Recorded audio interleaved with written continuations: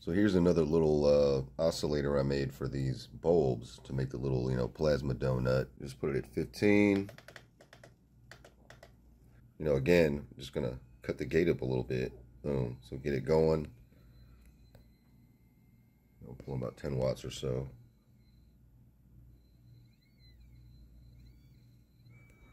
But yeah, this one, and get that thing to down.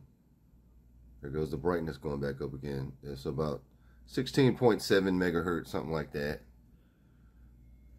Cut the damn brightness back down. But, you know, same deal. Seems like there's really nothing specific, you know. Just kind of threw this together, wound this coil. It's actually uh, sort of about the same diameter as the other one. It's just fewer turns, higher frequency.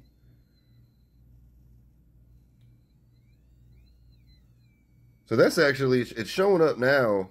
Now it's showing up as a pretty good representation. It's just now the brightness is all the way down. It looks all dark. All right. So I don't know. That looks pretty good right there.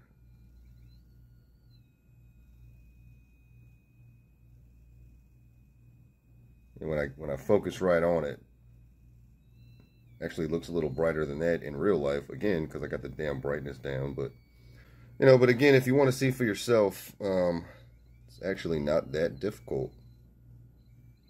So same kind of stuff going on. And let's see if I put this one at, let's just say uh, 20 volts. That's still, again, real easy. See the effect. Also should be able to uh, get this one going. The right bias. Yeah so there you go. That one going too no big deal. That one likes to stutter a lot more. You can actually see the uh, interrupter rate on it is a whole lot slower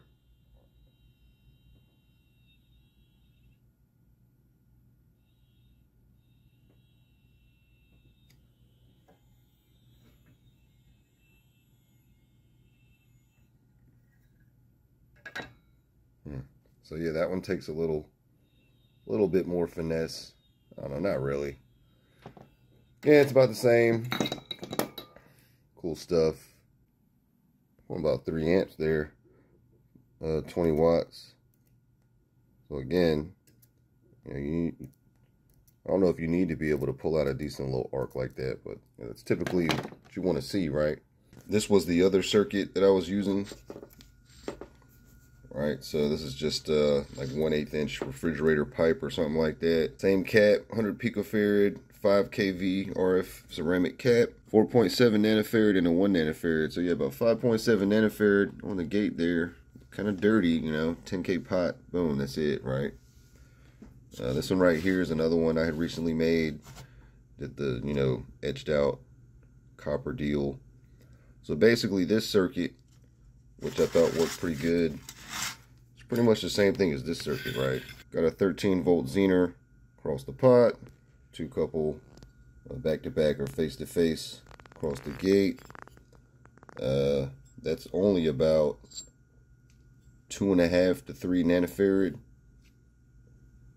uh, capacitance on the gate there, 1K resistor for the uh, voltage divider, and the RF choke right there. So again, real simple. I mean, it's not that hard uh, especially if you, know, you just want to get this LC oscillator going to uh, excite those bulbs, which with the right ones, you know, interrupt themselves pretty nicely to where, the, you know, it's very low power draw, right? So that's pretty cool.